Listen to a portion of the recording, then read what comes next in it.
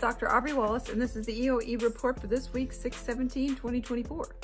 Thanks for embodying your evolution with us. Last week, we were in a chakra one focus, so it was kind of like be pragmatic, get your feet on the earth, figure yourself out, do what you need to do, be a human, feel your ancestors. And the earth and the sun was just uh, giving us a massage practically here of healing and bringing up some uh, need for change. So I hope you made it through that week okay and you were able to find your ground, hold your ground. This week we're back again in another Chakra 7 uh, week. Uh, there have been a whole lot of these lately. Chakra 7 weeks are actual change weeks, so this is another week of change coming our way.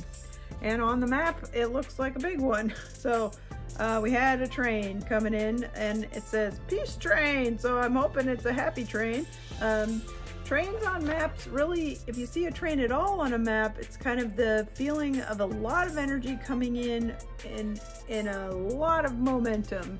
And it would feel like, you know, a train coming into your life. That is also real close to the front of the screen uh, or the front of the map. So this one feels like train is here, like directly in our face. We're, we've got the, you know, the cattle guard piece of this is in a rainbow with, a, with the colors of feisty love and action. So it feels like it's kind of bringing in some scooping of, of uh, making us move out of the way uh, with things that are most loving and most uh, best for all of us. On these tracks that are the color of energy, we have the color of root and the color of ancestors. So it feels like we're kind of maybe clearing the way with pretty big energetic power across some ancestral stuff and some um, just the way that the world is here by this sudden surge of energy momentum.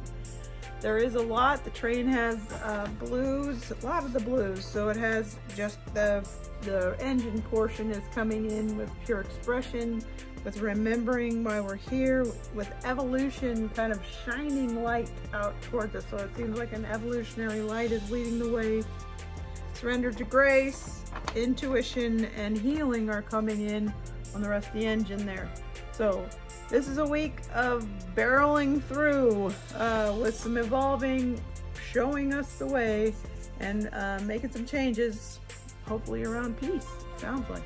So, um, if I could have a Cat Stevens songs in the background, I would do that, but for right now, we'll just uh, try to go for our peace train. I hope you, I hope you hold on to your tracks this week. See you again next week.